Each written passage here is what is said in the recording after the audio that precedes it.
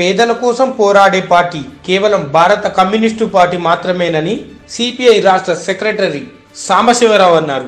మంగళవారం నర్సాపూర్ పట్టణంలో సిపిఐ కార్యాలయంలో సిపిఐ జిల్లా కార్యదర్శి టిఎం కాలేక్ ఆధ్వర్యంలో ఏర్పాటు చేసిన సిపిఐ పార్టీ జిల్లా మహాసభ నిర్వహించారు. ఈ కార్యక్రమానికి ఆయన ముఖ్య అతిథిగా పాల్గొన్నారు. ఈ సందర్భంగా ఆయన మాట్లాడుతూ టీఆర్ఎస్ పార్టీ అధికారంలోకి వచ్చిన తర్వాత హైదరాబాద్ను డల్లాస్గా చేస్తానని చెప్పిన కేసీఆర్ మాటలు ఎనిమిదేళ్ళు గడుస్తున్నా ఏ ఒక్క వాగ్దానం నెరవేర్చలేదని ఆయన అన్నారు. చమురు ధరలు నిత్యావసర వస్తువులు విపరీతంగా పెరిగిపోయాయని ఆయన మండిపడ్డారు. ప్రభుత్వ సంస్థలను ప్రైవేటీకరణ చేసిన ఘనత కేవలం మోడీకే దక్కుతుందని ఆయన ఎద్దేవా చేశారు.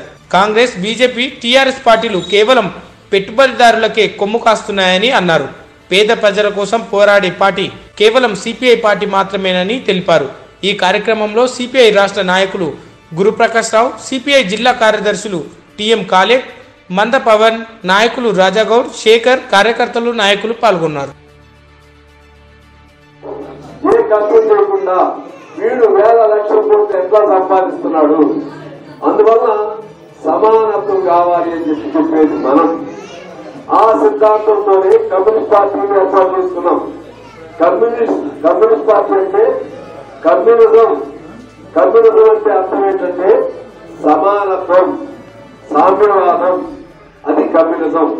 ఆ పేరుతో ఏర్పడాలని ఉండకపోతే కమ్యూనిస్ట్ పార్టీలో ఉండలేదు ఒకటేమో గుర్తించుకోవడం పార్టీ కింద నుంచి బయట కమిటీ వేసుకోవడం రెండో సిద్ధాంతం కూడా ఉండాలి. సిద్ధాంతం అంటే ఏంటి? గ్రామాల్లో మనం ఉంటాం ఏదైనా మంచి చేయడం కోసం ఇది చేద్దాం కష్టమైన నష్టమైన ఎలా నిర్ణయిస్తారో కమ్యూనిస్ట్ పార్టీ కూడా అలా సిద్ధాంతం ఉంటుంది ఆ సిద్ధాంతం ఏంటంటే దేశంలో గాని సమాజంలో గాని అసమానతలు లేకుండా అందరూ అన్నదమ్ముల్లాగా ఉండేటువంటి ఒకరిని మరొకరు దోపిడీ చేసేటువంటి వ్యవస్థ లేకుండా ఉండాలనే సిద్ధాంతంలో నుంచి కమ్యూనిస్ట్ పార్టీ పుట్టింది.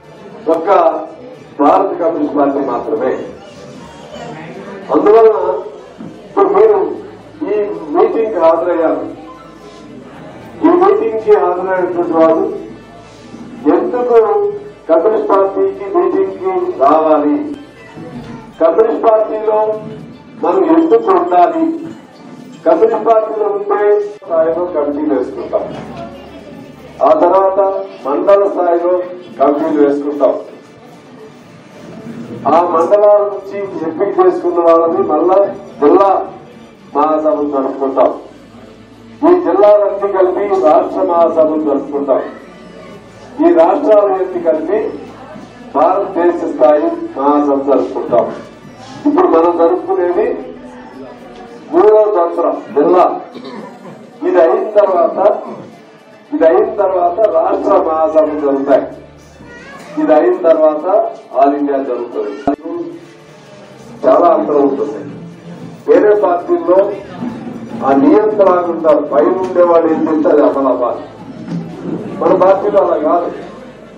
మన పార్టీలో సిస్టమ్ ఉంటుంది.